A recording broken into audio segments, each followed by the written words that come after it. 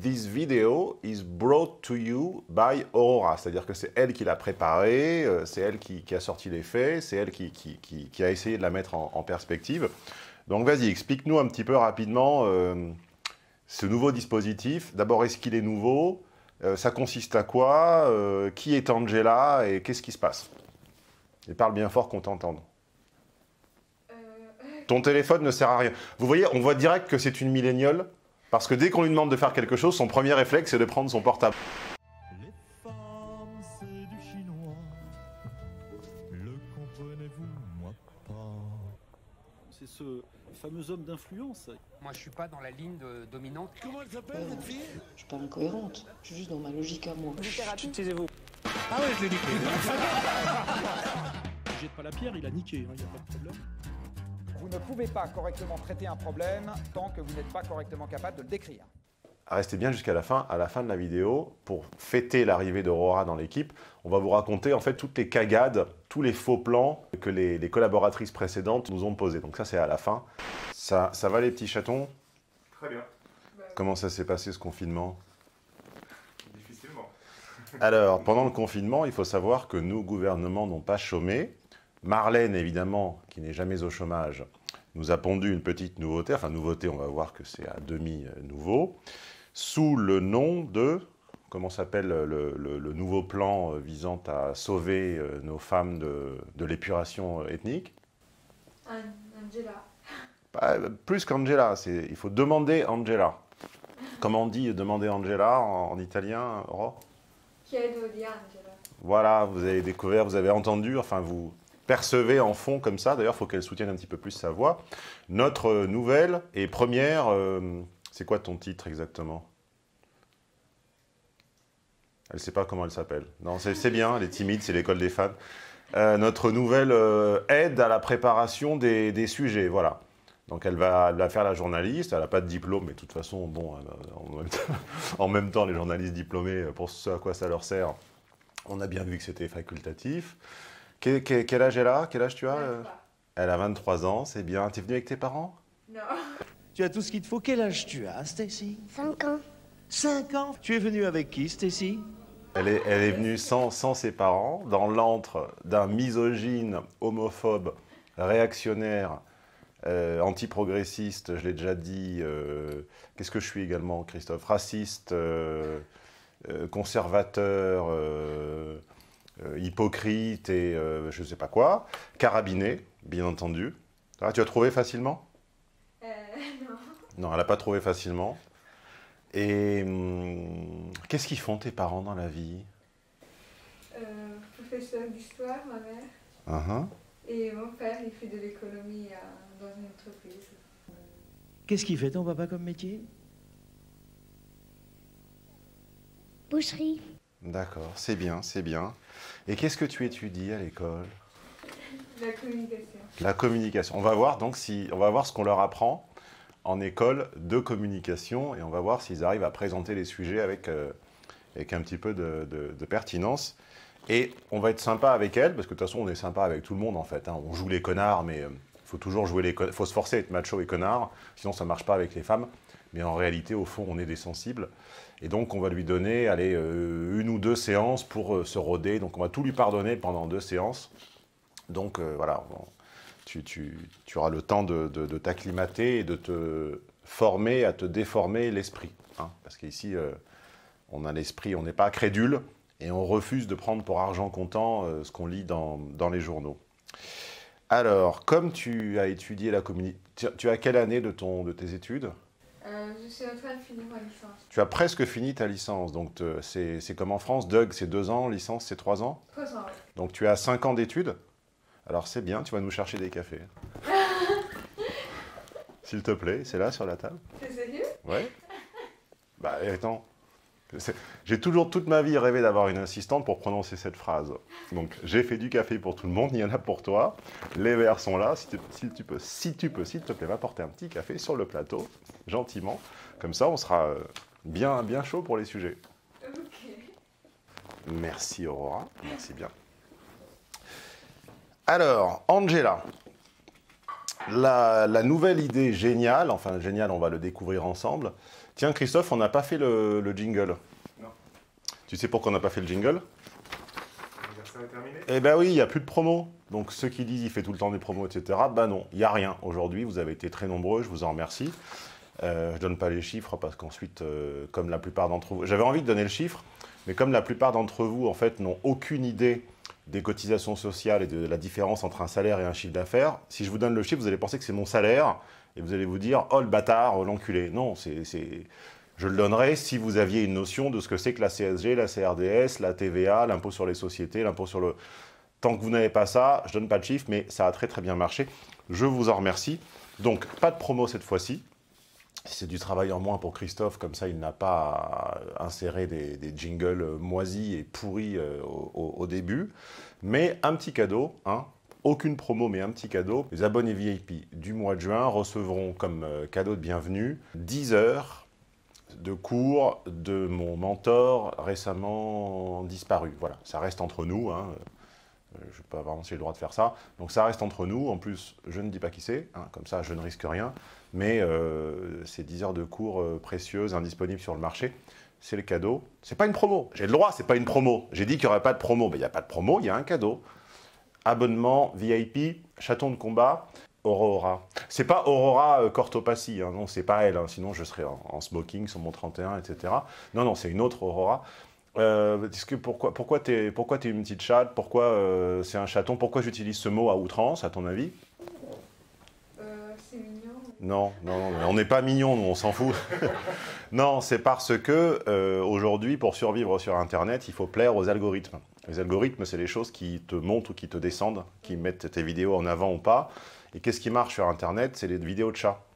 Et quand tu, quand tu prononces des mots-clés un peu sérieux comme, euh, je sais pas, euh, euh, féminisme, progressisme, euh, pédophilie ou soral ou je sais pas quoi, les, les- les- algorithmes te, plombent, te descendent.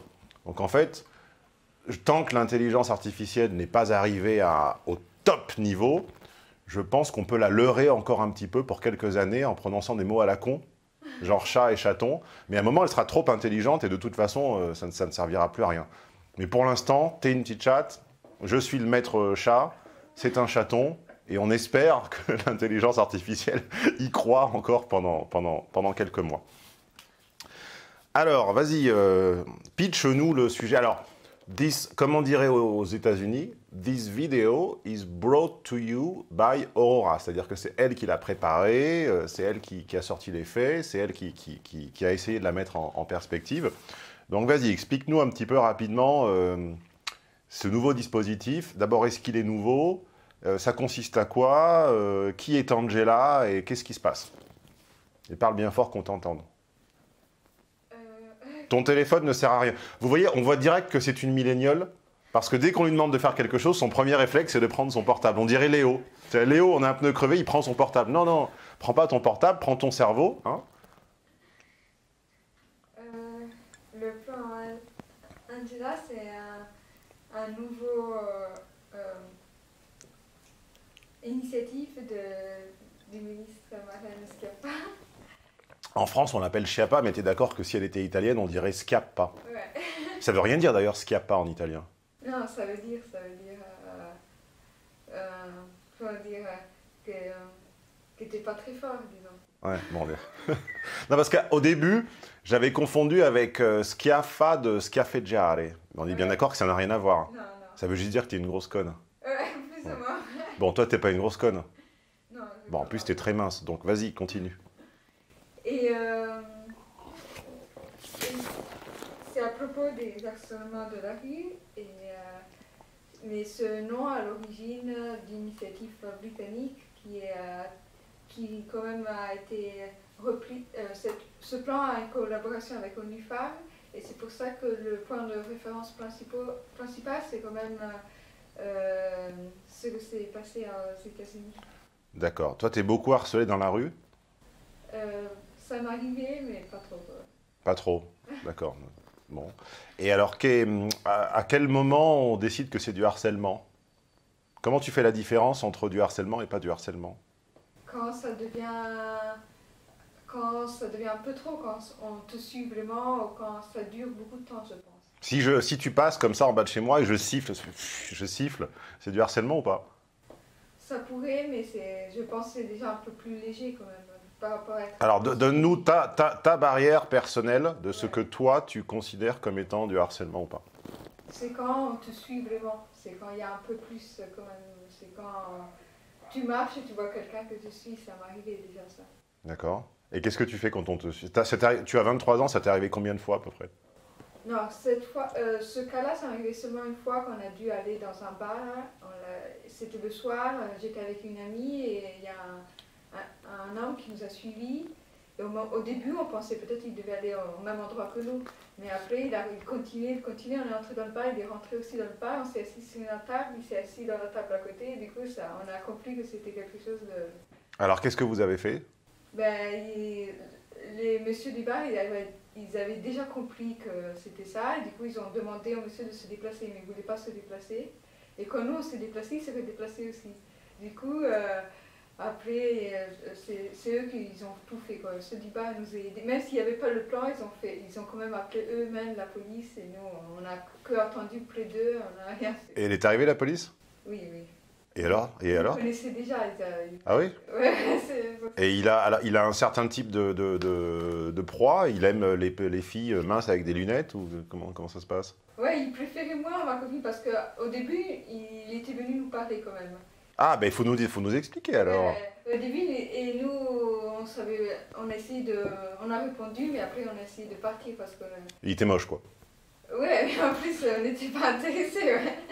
On était en train de rentrer chez ma copine en plus et, et du coup. euh, Donc après- quand il est moche, c'est plus souvent du harcèlement quand même. Oui, peut-être. Et s'il avait été très beau?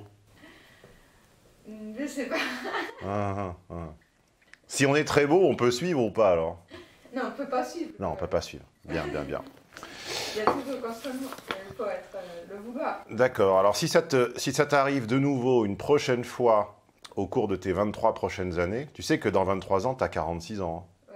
Ouais. Ta vie est terminée. hein. Enfin, 46 ans, euh, tes ovules, ils sont au chômage, euh, tes ovaires, ils sont à la retraite. euh, à 46 ans, euh, De temps en temps. ça y est déjà, elle a 23 ans, elle est en train de penser à la retraite de ses ovaires. Vous voyez, je, je les connais. Donc la prochaine fois que ça t'arrive, il faudra que tu demandes Angela. Pourquoi Angela et qu'est-ce qui devrait se passer si tu demandes Angela? Euh, je devrais être euh, aidée quand même. Ça, je devrais me sentir protégée. Et tu pourrais rentrer dans quel type de lieu? Ceux, en particulier ceux qui ont adhéré à cette initiative. Comme quoi, par exemple? Euh, des bars, oui. ou des Oui, ça, on l'a déjà dit. Alors ça, là, on arrive aux limites de la préparation du sujet. Là. Alors, à part les bars, Oui, des magasins ou euh, des, aussi des, euh, des services euh, de chauffeurs. d'accord. Donc, des chauffeurs de bus, des bars et des magasins. Je reformule parce que sa, sa voix est encore un petit peu... Elle n'a pas encore mué, en fait. Hein, elle, a, elle a encore une voix un petit peu, un petit peu fluette. Ton adolescence va arriver. C'est un moment, tu, tu vas...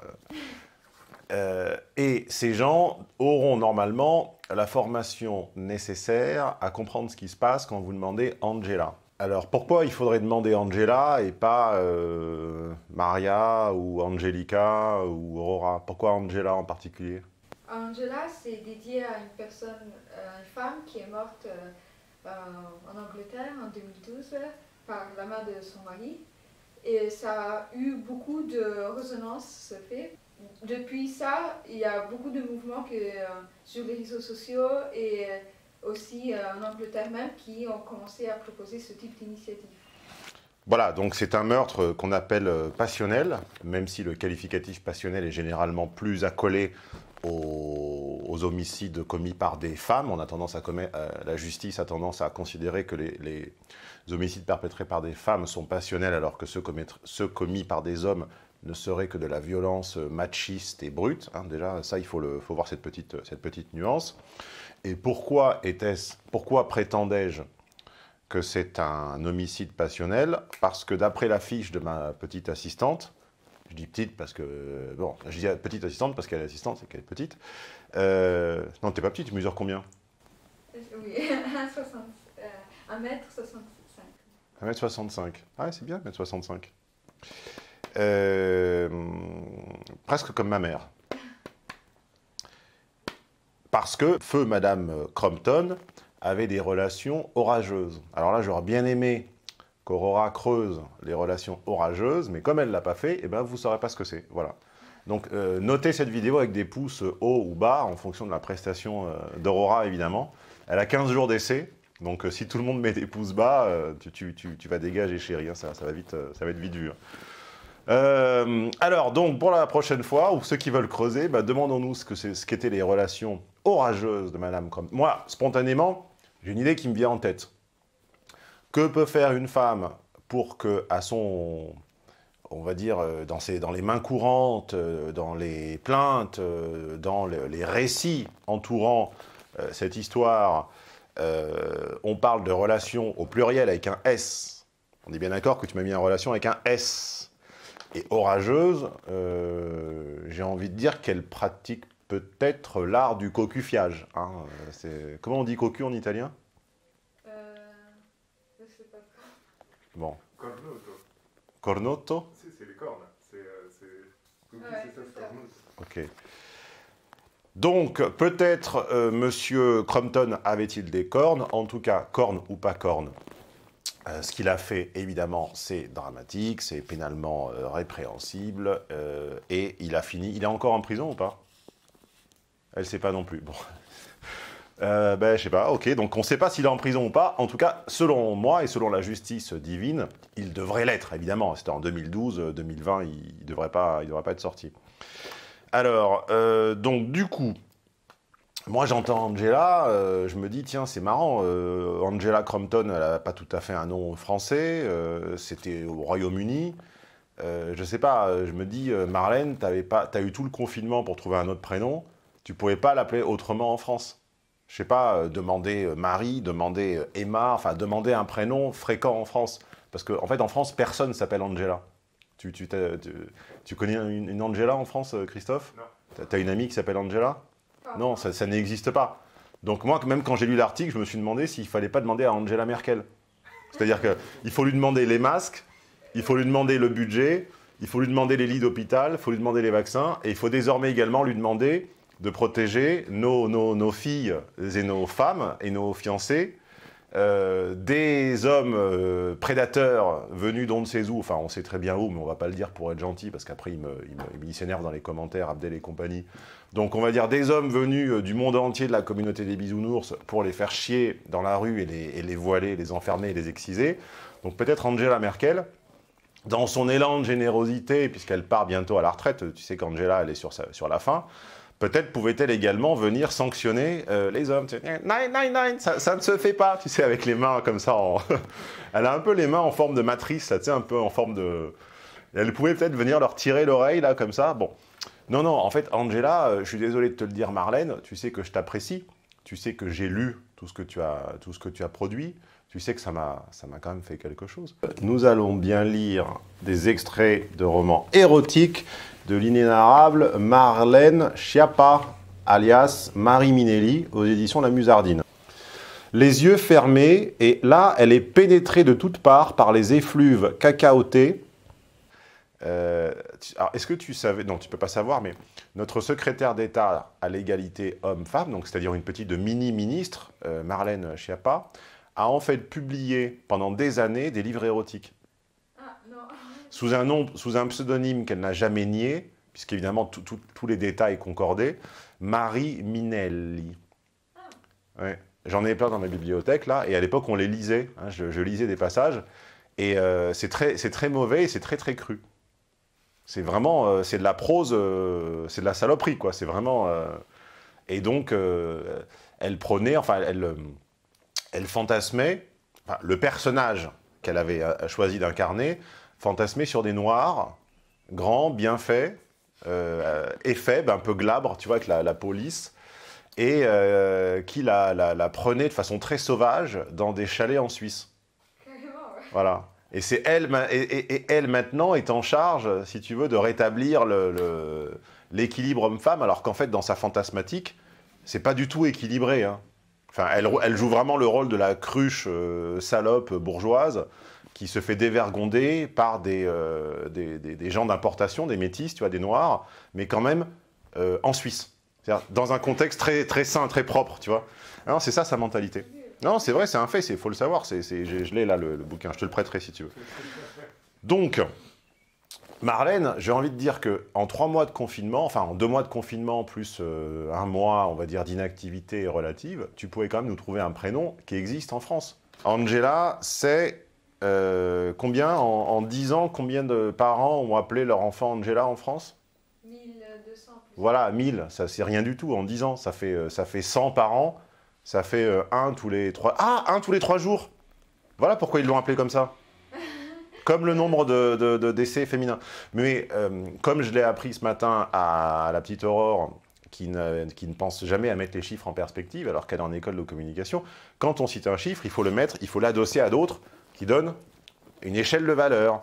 Donc, Angela, 1000 en 10 ans, sur la même durée, combien on a par exemple de Alice ou de Emma hein?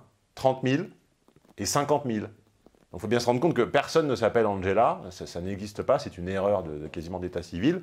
Mais Marlène, comme une bonne petite bourgeoise scolaire qui a passé sa scolarité à copier, sur les, à copier les livres et à recracher son cours euh, sans, réfléchir, eh bien, elle a, elle est- en fait, ce qu'elle nous présente comme une nouveauté, c'est totalement copié du modèle anglo-saxon jusqu'au prénom. Elle n'a même pas eu la common decency orwellienne, la décence commune, de nous inventer un prénom bien à nous, tu vois, genre Bernadette ou euh, Aurora. Non, elle a vraiment recopié. Donc, les femmes vont devoir se souvenir de ce prénom qui n'est pas, du tout- pas du tout naturel, qui se prononce pas très bien en français. Et, c'est ridicule, en fait, de demander Angela. Tu demandes Angèle. Moi, ma, ma, ma, ma- ma tante en Guyane s'appelle Angèle. À la limite, Angèle, tu vois, mais, mais pas Angela. Donc, un, c'est présenté comme une nouveauté. Ce n'est pas une nouveauté. C'est le duplicata parfait des UK, des USA. Euh, deux, là-bas, ça a fonctionné comme un remède au dating. C'était dans le cadre de lieux clos, dans le cadre de bars et de boîtes de nuit, et c'était initialement affilié à Tinder. C'est l'essor des sites de rencontres qui a mis en présence des gens qui ne se connaissaient pas. Toi, tu n'as pas connu euh, la, la- génération, l'époque avant les sites de rencontres. Dès que tu as été adolescente, il y avait des sites de rencontres. Il y avait les réseaux sinon quand même. Il y avait, toujours Internet. Ouais. Christophe et moi avons connu une époque où on ne se rencontrait pas sur Internet. Et donc, on ne pouvait pas se retrouver dans un, dans un, dans un restaurant ou quoi que ce soit avec un inconnu. C'était pas possible. À part peut-être les gays, parce qu'eux, ils ont tendance à se sauter dessus beaucoup plus vite. Euh, mais, mais nous, ça n'existait pas. Aujourd'hui, pour vous, pour votre génération, c'est hum, acceptable et normal de se retrouver quelque part avec quelqu'un qu'on n'a jamais vu. Nous, c'était impossible. Et donc, si tu avais poussé le, raisonnement jusqu'au bout, tu te serais dit, c'est né en 2013-14, 2013-14, c'est l'essor de Tinder. Donc c'est pour ça. Ça y est, là, elle baisse d'un air euh, vaincu, elle baisse les yeux. Et oui, mais il faut faire ce type de recoupement, tu vois. Grâce à moi, tu vas augmenter tes notes. C'est ce type de raisonnement qu'il faut faire. Quand quelque chose se passe, à quelle époque ça se passe et qu'est-ce qu'il y a en même temps et pourquoi les faits s'engendrent l'un à l'autre. 2013-14, c'est les applications, c'est Tinder. D'où maintenant l'étude que tu n'as pas trouvée, parce que je t'ai demandé comment ça marche à l'étranger et quelles sont les stats. Tu as dit j'ai pas trouvé. En fait, ça existait. Donc d'où maintenant euh, un petit retour d'expérience, six ans de recul au, au Royaume-Uni, de la fameuse Angela. Qu'est-ce que, qu'est-ce que ça a donné là-bas et qu'est-ce qu'on peut imaginer euh, que, que ça donne chez nous? Donc la journée, donc pas de chiffres, mais une petite étude quali dont on mettra encore une fois les sources euh, ci-dessous. Euh, Aurora me les enverra, je te montrerai ça, puis tu feras que tu me trouves le, le- retrouves le lien. Donc une journaliste s'est rendue dans quatre lieux de nuit qui s'appellent respectivement le Jesters, le Stags, le Pre-Bar, le Wild Lime, 5 pardon, avec également le Hobbit. T'étais pas au Hobbit quand tu t'es fait suivre par le mec moche là. Non, non, n'était pas au Hobbit. Donc, sur ces cinq lieux de nuit, euh, plusieurs années après le lancement de la campagne Angela, à votre avis, les petits chatons, combien de ces lieux ont, ont mis en œuvre le... Combien savaient qui était Angela? Honneur aux femmes Sur cinq? Un peut-être. Ouais, J'espérerais les 5. Ouais, ouais, mais moi aussi j'espère plein de choses, mais euh, moi j'espérerais être millionnaire et ne plus voir vos faces de paix tous les jeudis, mais malheureusement je ne le suis pas et je dois vous supporter. Alors, en pratique, Deux. deux, Deux, ouais. eh ben Aurora a gagné. Tu as la chance du débutant. La, la première fois qu'on joue aux courses, on gagne toujours. Un, après plusieurs années de recul, un lieu seulement savait qui était Angela. Et les quatre autres, non seulement euh, ne savaient pas, mais en plus ça les intéressait absolument pas, puisqu'ils disaient que leur staff euh, était, entre guillemets, payé pour ça. C'est-à-dire était là pour repérer les rôdeurs, les, les fâcheux. Un, un homme, comme tu décris, on dit un rôdeur en français. Quelqu'un qui rôde. Ah, Tu un promeneur, ça se promène. Un rôdeur, ça. ah, ça donne. Tu vois? Comme ça. Est-ce qu'il était un peu comme ça? Il avait pas de tête, mais bon, oui, Non. ça se comprend. Il n'avait pas ce teint de, de pêche, ni ce, ni ce port altier. Donc, euh, écoute Marlène, moi, j'ai aucun problème à ce que tu t'inspires de ce qui fonctionne à côté. Je l'ai déjà dit à Jean Covici, même de, de vive voix, en direct. Je lui ai dit, euh, pour moi, l'Europe, c'était l'occasion de copier ce que, fait, ce que le pays voisin fait mieux que nous, et que le pays voisin s'inspire de ce que nous faisons mieux que lui. Donc j'ai aucun problème à ce que tu copies au UK, j'ai aucun problème à ce que tu copies les Américains, tu ne seras pas la première et pas la dernière, j'ai aucun problème à ce que tu copies le Canada, mais j'aimerais te demander plusieurs faveurs. Premièrement, quand tu copies, dis-le nous. Ne nous présente pas les choses comme une nouveauté, dis-nous, nous serons le 24e pays à adopter une mesure. Moi, quand j'ai fait Mario au premier regard, j'ai pas dit que c'était une nouveauté. Nous étions le 22e ou 24e pays à adopter un format. Bon, ben voilà, euh, c'est une réalité. D'ailleurs, l'Italie était le 23e, je crois. Donc, dis-nous d'abord que tu as copié sur euh, les- tes, petits, tes petits camarades, que c'est un copier-coller. Ensuite, je t'en supplie, trouve-nous un prénom bien de chez nous. Je sais pas, euh, Momo, Dylan, euh, les prénoms que, Kenza, Zoraya, enfin les, prénoms français que, les parents donnent à, leur- à leurs enfants. Ça sera déjà plus naturel. Et en plus, dis-nous, s'il te plaît, si ça marche à l'étranger. Parce que moi, de- des faibles études disponibles sur le net, d'ailleurs, le simple fait qu'il soit aussi difficile de trouver l'info veut dire que c'est quand même pas un plan de très très grande ampleur. Tu es d'accord- Aura, qu'il n'y a pas des centaines d'articles qui tombent sur le sujet, il n'y en a pas beaucoup. Et en plus que 4 lieux sur 5 n'aient jamais entendu parler du truc alors qu'ils étaient dans la ville de la campagne, m'inquiète un peu. Et dernière chose, si ça marche aussi peu pour des lieux clos où il est très facile de le mettre en place, comment ça va se passer dans la rue? Comment ça va se passer dans le bus?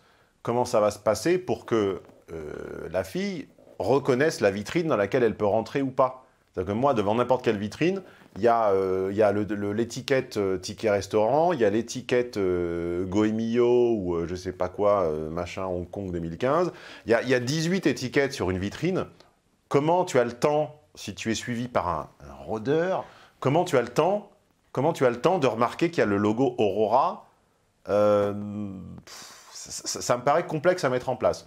Donc Marlène, tu sais que je te veux du bien, ti voglio bene.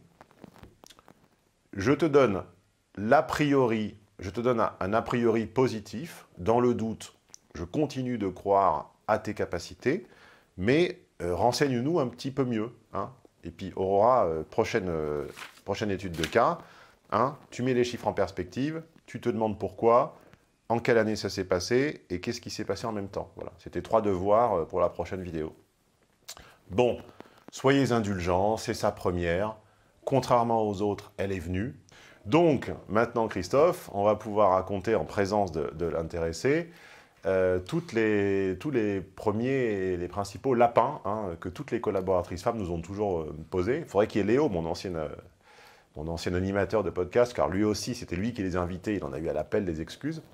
Donc nous, nous avons eu, avant toi, avant que tu ne viennes euh, te livrer dans l'antre du mal, alors d'abord, on a eu une journaliste de, de presse télé euh, française qui avait vu mon annonce, euh, qui était très intéressée. Et alors elle, par contre, elle ne pouvait pas travailler à moins de 500 euros la demi-journée. vraiment, c'était la déchéance, c'était déchoir, etc. Donc euh, je lui un peu demandé euh, sur quel projet elle bossait. Elle m'a dit aucun pour l'instant. Donc elle préférait en fait avoir rien, c'est-à-dire le chômage, que travailler euh, pour euh, les sommes pour lesquelles je vous rémunère, qui me semblent quand même proportionnelles au, travail réalisé. Donc voilà, elle malheureusement, non, non, votre projet est formidable, mais moi vous comprenez, je suis une grande journaliste, etc. Bon, hein, donc voilà. Ensuite on a eu une certaine Lila, donc, qui prétendait euh, travailler dans le digital, enfin qui travaille dans le digital, qui a une boîte euh, comme ça, euh, création de contenu web, machin, et qui avait conclu notre première conversation téléphonique par écoutez, j'accepte votre offre, mais je vais tellement. vos vidéos avec moi, elles vont tellement décoller que vous allez être obligé de me payer plus. Donc, moi, j'ai dit bon, bah, d'accord, voyons, voyons voir, à la limite, il n'y a pas de problème. Moi, j'ai aucun, je n'ai aucune, euh, comment dire, j'ai pas de vice euh, d'accumuler. Si, si les gens participent, si les gens font plus que ce qui leur est demandé, j'ai aucun problème à les remercier. Euh, nous avions rendez-vous donc à 9h30, c'était un lundi à l'époque, à l'époque on travaillait le lundi, enfin on tournait le lundi, et vers 8h20, 8h40, quelque chose comme ça, elle m'explique qu'il y a eu quelque chose sur la route, sans, sans, sans preuve, sans photo, sans rien du tout, et que par conséquent elle ne peut pas venir, et qu'elle me remercie quand même beaucoup, et qu'elle me souhaite une bonne journée. Et je n'en ai plus jamais euh, entendu parler, voilà, donc c'était encore une fois euh, parfaitement professionnel. Euh, donc ensuite, bon, ben moi, qu- quand on me fait un truc pareil, je réponds pas. Je dis très bien, très bien, mademoiselle, je vous crois sur parole. Et puis, je regarde le nom de sa boîte et puis je mets un commentaire de merde. Je dis voilà, j'avais contracté avec cette personne. Je vais sur Google, je tape euh, machin digital bidule et je dis écoutez, moi, là, je m'appelle comme ça. Parce que moi, quand je mets un, témoignage négatif, contrairement à 99% des gens, je mets toujours mon nom. hein. C'est pas euh, pirate euh, des Caraïbes, machin. Non, voilà. Je m'appelle Intel. Ma société s'appelle Intel. J'avais une prestation avec madame, mademoiselle Lila Bidule. Elle a planté 45 minutes avant sans jamais donner de nouvelles. Je trouve ça déplorable. Une étoile, voilà. Mais, mais au moins, je mets qui je suis, ma société, et tout est clair. Hein, Ce n'est pas des témoignages bidons. Et la troisième, c'était notre petite Carrie-Louise, hein, dont on mettra euh, même... Tu l'as tu l'as gardé, son message audio ou pas Tu l'as gardé Eh ben, tu nous en mets quelques extraits, pas les deux minutes, mais tu nous en mets quelques extraits. Euh, on peut ça, hein. on ne peut pas diffuser une conversation privée, mais on peut diffuser une conversation professionnelle. Hein, ça, c'est Maître Taïeb euh, ou Maître Teboul. Non, c'est Teboul. C'est c'est Teboul qui me l'a appris, ça. Donc, tu mets quelques extraits où, en fait, elle dit euh, être totalement fan de mon travail, euh, Dans le sens où, voilà, je t'admire énormément. Que je l'impressionne énormément, que ce serait tellement une chance de venir. Du peu que j'ai vu, euh, tu as l'air d'avoir une carrière euh, professionnelle assez incroyable. Mais que le simple fait de chercher des informations factuelles, elle s'est rendue compte, ce faisant, qu'elle n'était pas tout à fait d'accord avec nos idées. Aujourd'hui, en faisant les recherches que tu m'as demandé, donc que ce soit pour Thomas ou que ce soit pour Camilla Jordana, je me suis vraiment rendu compte que en fait, euh, je ne partageais pas ses idées. Et malheureusement, c'est compliqué pour moi de, de transmettre des informations où, j'ai du mal avec moi-même, euh, où déjà de base, je ne suis pas forcément d'accord. et que du coup, sous prétexte de ne pas adhérer à nos... Alors, quelles idées On ne sait pas. Sur quel thème On ne sait pas. Quel jour, dans quel contexte, dans quel, dans quel article On ne sait pas. C'est global, en fait. C'est, elle a développé une espèce de forme d'allergie à distance. Elle, elle nous a jamais vus. Elle n'est jamais venue, je l'ai jamais vue, etc. Mais en cherchant des informations pourtant factuelles, elle s'est rendue compte que là, ça l'a gratouillé quelque part. Ça, ça, ça, c'était pas conforme à sa vision du monde. Et donc, euh, elle a préféré abandonner, tout en nous souhaitant évidemment le meilleur et en nous promettant que le travail déjà réalisé, donc les fiches déjà existantes, me seraient bien sûr envoyées. Euh, je vais quand même bien sûr hein, te transférer les, les deux petites fiches euh, que je t'ai préparées. Tu as vu les fiches passer, Christophe? Non. Ben moi non plus. Voilà. Donc ça, c'est euh, mon expérience récente avec les femmes au travail, sachant qu'auparavant, quand on animait des podcasts avec Léo, on en a eu des dizaines comme ça. Et euh, après, il ne faudra peut-être pas forcément s'étonner qu'à un moment, on préfère promulguer les hommes. Quoi. Ça me semble une bonne conclusion. T'as un mot de conclusion, euh, Aurora? Rien à dire à tout ça. Comme dit Aurora, il n'y a rien à dire. Vous ne pouvez pas correctement traiter un problème tant que vous n'êtes pas correctement capable de le décrire. C'est-à-dire que tant que vous ne savez pas décrire correctement un problème, ce que vous croyez être une solution, en fait, ça sera tiré au hasard. quand vous tirez au hasard, la probabilité que vous atteigniez votre cible est extrêmement faible.